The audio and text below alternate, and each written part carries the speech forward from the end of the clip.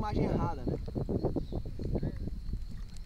É o restaurante, na frente é uma piscininha de água natural.